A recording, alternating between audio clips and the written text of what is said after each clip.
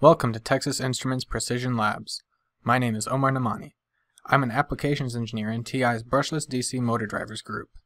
This video explores how to determine whether a gate driver or an integrated driver best suits your motor drive system's needs. Brushed, brushless, and stepper motor drivers share many of the same trade-offs when selecting which gate drive topology to use. For simplicity, this presentation will discuss the design considerations at a high level, such that the information is useful regardless of which motor type you are using. In a DC motor driver, pairs of field effect transistors, or FETs, in a half-bridge configuration are driven by control logic. For example, a typical brushless DC motor driver will have three half-bridges to drive each phase of the motor. This component of the topology is known as the power stage or final drive stage. The primary difference between these topologies is how the power stage is implemented in a system's design.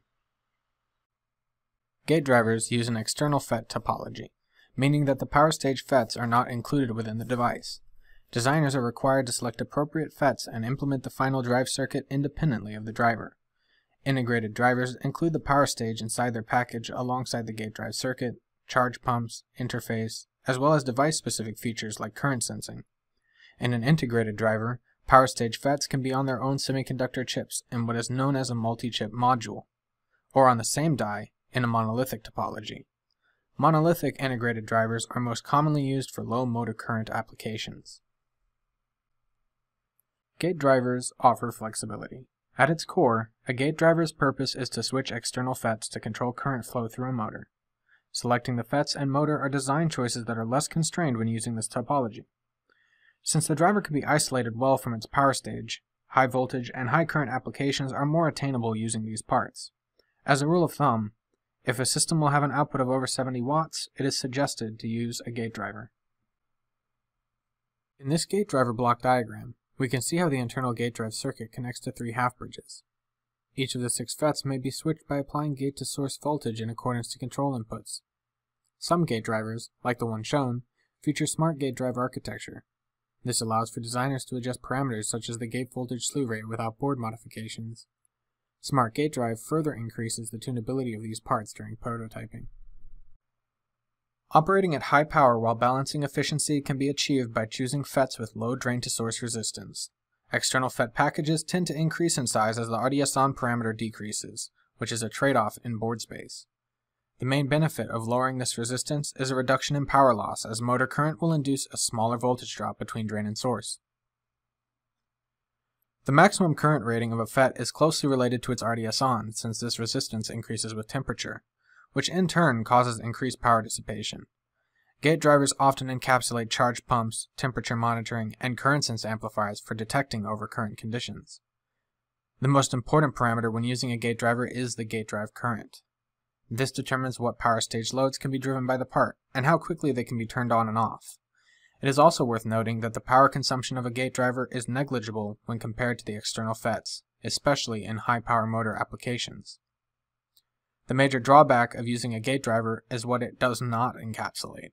Design time is increased due to the added complexity of developing a schematic and layout for the power stage. Integrated drivers, on the other hand, offer simplicity. The built-in power stage reduces the development time required for schematic and layout. This also minimizes the bill of materials, which in most cases reduces the board space a motor drive solution will occupy. The TI portfolio offers a wide range of integrated drivers with varied peak current capabilities. Despite this topology being geared towards use in lower current applications, some TI parts have peak current ratings that exceed 10 amps. In this integrated driver block diagram, we can see the encapsulation of three half bridges, the outputs of the pre-driver are no longer accessible as they are inside a gate driver and the device connects directly to the motor. Integrated drivers are more of an all-in-one solution in terms of their operation. The package contains a power stage with pre-selected transistor characteristics. These are optimized for a peak current range that puts a constraint on the motors that can be driven. Additionally, during production, the full system including its control interface, built-in protection, internal supplies, and motor driving outputs are tested. This assures that a device performs its function before being implemented in a system, often simplifying debug during the prototyping phase.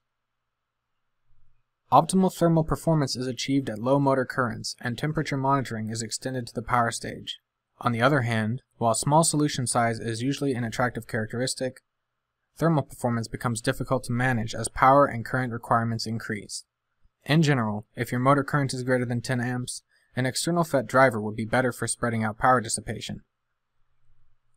Like in the power stage of an external FET design, as RDS-on decreases, the integrated driver's package size increases. This creates a directly proportionate relationship between peak current and driver footprint.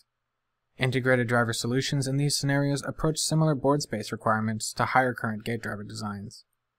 Maximum junction temperature ratings of integrated FET devices can only be maintained by selecting a proper RDS-on value. Maximum power dissipation of a typical motor driver is determined using the peak motor current and the drain to source resistance of the high and low side FETs. These are not modifiable parameters in this topology, so the peak current is selected such that the package size and thermal paths inside the device prevent overheating during normal operation. To investigate how each driver type utilizes board space, an example external FET gate driver is shown alongside an MCM integrated driver. Both layouts include typical passive components within the white rectangle. The external FETs were selected such that the half bridge has only 23 milliohms of combined resistance. These FETs have a maximum junction temperature of 175 C and are capable of delivering 9.1 amps of continuous current while keeping below 1.9 watts of power dissipation. The integrated driver, on the other hand, has a combined RDS-on of about 80 milliohms and can only drive about 4 amps of continuous motor current.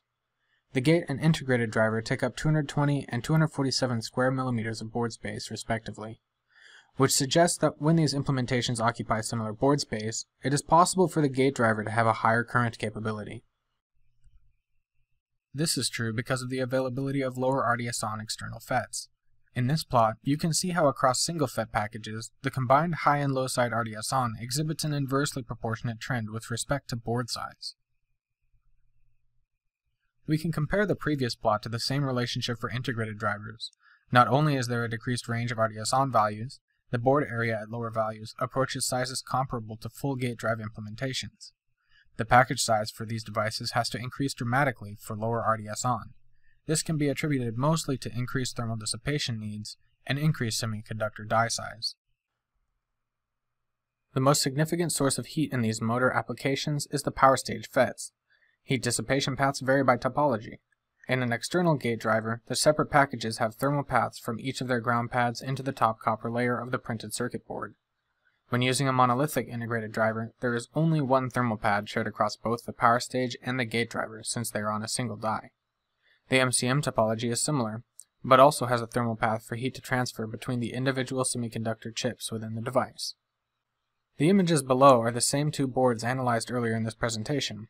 However, the gate driver's external FET selection was changed to one with a combined high and low side RDS-on of about 80 milliohms for equivalence with the integrated driver. Both of these devices are operating with 3 amp current loads. This illustrates that the external FET solution had an only slightly higher maximum temperature when using similar FETs to the ones inside of the integrated driver. Although, since these parts occupy similar board space, it is important to reiterate that the gate driver has the option of reducing RDS-on to improve thermal performance. In summary, although there are many trade-offs to consider when designing a motor drive system with these parts, at its core, the gate driver offers flexibility, where the integrated driver offers simplicity. To find more motor driver technical resources and search products, visit ti.com/motordrivers. Thank you for watching.